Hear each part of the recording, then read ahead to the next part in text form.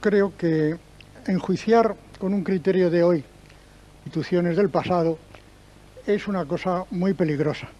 Desde luego entre una persona atea o agnóstica y una persona con convicciones religiosas, es decir, con fe, es muy difícil un diálogo, porque la persona atea o agnóstica, su vida está reducida a este mundo, es decir, eh, el bienestar universal es lo único fundamental, el progreso para el bienestar universal.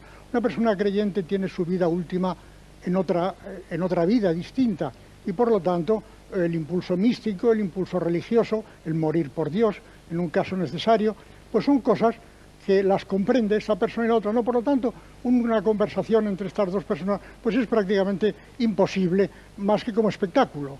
Es decir, la única utilidad que podía tener es que yo convirtiera a una de estas personas o, que me quitaran a mí la fe. Eh, respecto a esto de la Inquisición, pues para la mayor parte de la gente, después de dos siglos de desprestigio y de, eh, leyenda negra, pues claro, la Inquisición es una cosa que es el, mal, es la tortura, es el sadismo, es el, fanatismo. La Inquisición en aquellos tiempos, en el siglo XV al XVII, por ejemplo, era tan necesaria como hoy la policía. Hay que tener en cuenta que en aquella época no existía prácticamente la policía, existía la Inquisición, porque era una comunión de almas y no, y no una mera sociedad de cuerpos lo que se vivía.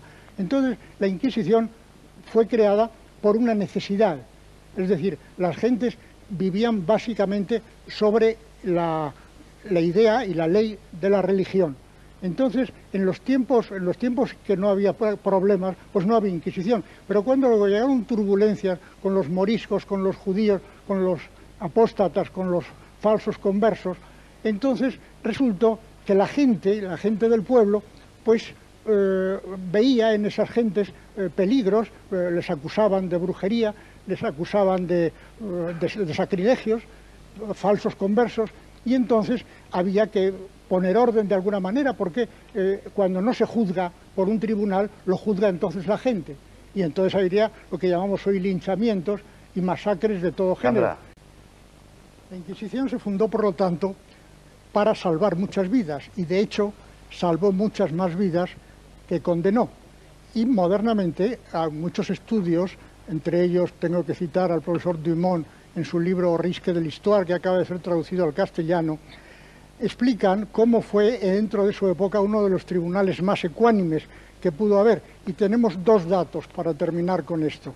Además de que salvó a mucha gente de presuntos y falsos ataques o suposiciones de sacrilegio y brujería, era un tribunal tremendamente popular en España.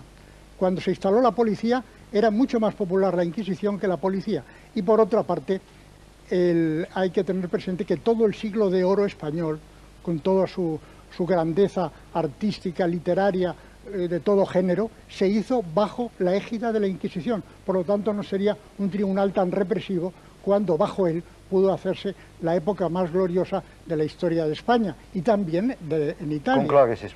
El señor eh, Riera nos me ha objetado el que he dicho yo que es incompatible el diálogo de un creyente con un, eh, con un ateo, con un agnóstico. Eh, yo no he dicho que sea imposible un diálogo y una convivencia, ciertamente yo convivo con muchas personas de estas ideas y hablamos de muchas cosas.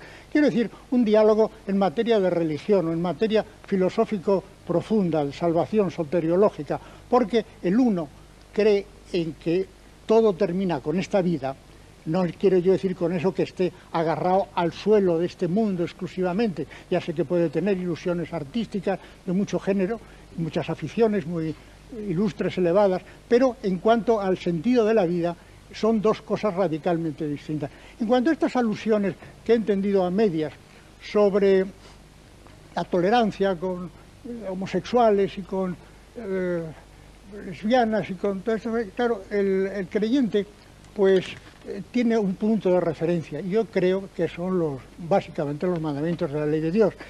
Y creo que ninguna sociedad puede vivir sin un punto de referencia. Perdone, ¿algún mandamiento habla en contra de los homosexuales? Porque yo lo estudié hace muchos años, igual han cambiado. Me parece que es el sexto, si no lo han cambiado es no, fornicar. Yo quisiera puntualizar algunas de las cosas que he oído o medio oído, como digo, por aquí. 50%, sí. Una- al, al señor, al señor dibujante, él, diría- él dice que eh, sus dibujos, que yo he visto alguna vez y que hay personas aquí que le parecen irrespetuosos, sacrílegos, él dice que con no leerlos, pues estamos del otro lado. Yo le diría a él que si a una persona muy querida de su familia, por ejemplo su padre, le insultaran públicamente eh, y gravemente en una publicación o en la radio, donde quiera que sea, él no se contestaría, seguramente se contentaría con no poner esa radio, sino que tomaría algunas otras medidas más o menos contundentes. Supongo yo que es una persona honorable y bien nacida.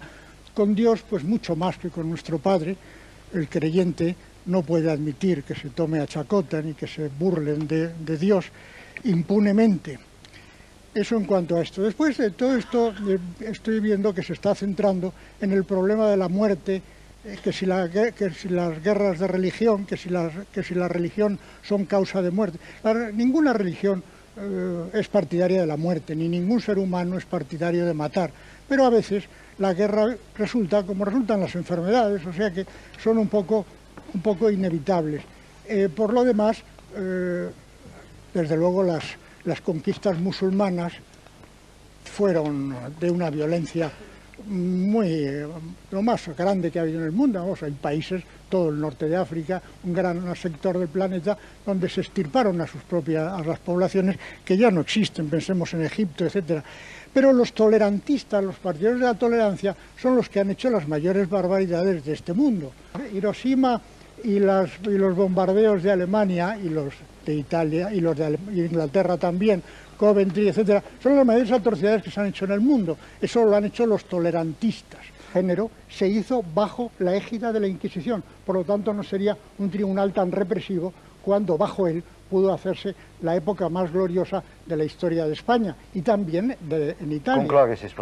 El señor eh, Riera nos ha, me ha objetado el que he dicho yo que es incompatible el diálogo de un creyente con un, eh, con un ateo, con un agnóstico. Eh, yo no he dicho que sea imposible un diálogo y una convivencia, ciertamente yo convivo con muchas personas de estas ideas y hablamos de muchas cosas. Quiero decir, un diálogo en materia de religión o en materia filosófico profunda, de salvación soteriológica, porque el uno cree en que todo termina con esta vida, no quiero yo decir con eso que esté agarrado al suelo de este mundo exclusivamente, ya sé que puede tener ilusiones artísticas de mucho género, muchas aficiones muy ilustres, elevadas, pero en cuanto al sentido de la vida, son dos cosas radicalmente distintas. En cuanto a estas alusiones que he entendido a medias sobre la tolerancia con eh, homosexuales y con eh, lesbianas y con todo esto, claro, el, el creyente pues eh, tiene un punto de referencia yo creo que son los básicamente los mandamientos de la ley de Dios y creo que ninguna sociedad puede vivir sin un punto de referencia. Perdone, Es ¿el- decir, ¿algún mandamiento habla en contra de los homosexuales? Porque yo lo estudié hace muchos años. Sí, Igual han cambiado. Me parece que es el sexto, es, si no lo han es cambiado no for- es no fornicar. Yo quisiera puntualizar algunas de las cosas que he oído o medio oído, como digo, por El aquí. 50%, sí. Va. Una- al, al señor, al señor dibujante, él dice que eh, sus dibujos, que yo he visto alguna vez y que hay personas aquí que le parecen irrespetuosos, sacrílegos, él dice que con no leerlos, pues estamos del otro lado. Yo le diría a él que si a una persona muy querida de su familia, por ejemplo su padre, le insultaran públicamente eh, y gravemente en una publicación o en la radio, donde quiera que sea, él no se contestaría, seguramente se contentaría con no poner esa radio, sino que tomaría algunas otras medidas más o menos contundentes. Supongo yo que es una persona honorable y bien nacida. Con Dios, pues mucho más que con nuestro Padre, el creyente no puede admitir que se tome a chacota ni que se burlen de Dios impunemente. Eso en cuanto a esto. Después de todo esto, eh, estoy viendo que se está centrando en el problema de la muerte, eh, que, si las guerras de religión, que si, las, la religión son causa de muerte. Ninguna religión eh, es partidaria de la muerte, ni ningún ser humano es partidario de matar. Pero a veces la guerra resulta como resultan las enfermedades. Eh, yo no he dicho que sea imposible un diálogo y una convivencia, ciertamente yo convivo con muchas personas de estas ideas y hablamos de muchas cosas.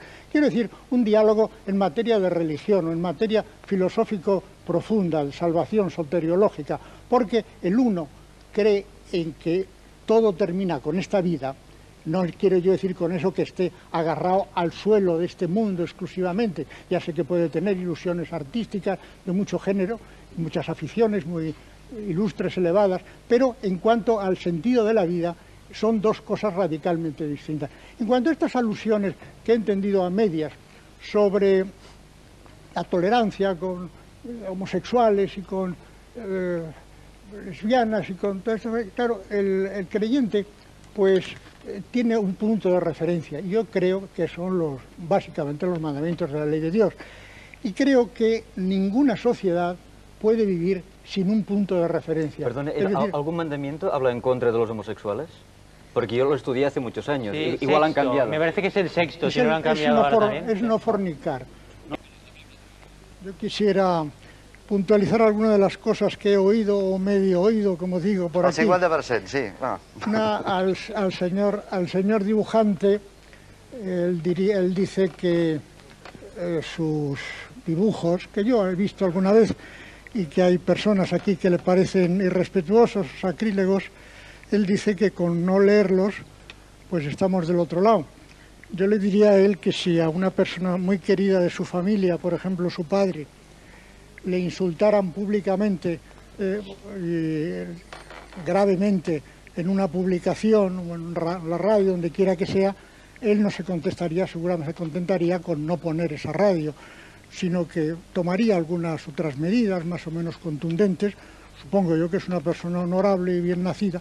Con Dios, pues mucho más que con nuestro Padre, el creyente no puede admitir que se tome a chacota ni que se burlen de Dios impunemente. Eso en cuanto a esto. Después de todo esto eh, estoy viendo que se está centrando en el problema de la muerte, eh, que, si las guerras de religión, que si, la religión son causa de muerte. ninguna religión eh, es partidaria de la muerte, ni ningún ser humano es partidario de matar. Pero a veces la guerra resulta como resultan las enfermedades, o sea que son un poco, un poco inevitables. por lo demás, desde luego las las conquistas musulmanas fueron de una violencia muy lo más grande que ha habido en el mundo. hay países, todo el norte de África, un gran sector del planeta, donde se estirparon a sus propias a las poblaciones que ya no existen, pensemos en Egipto, etcétera. Pero los tolerantistas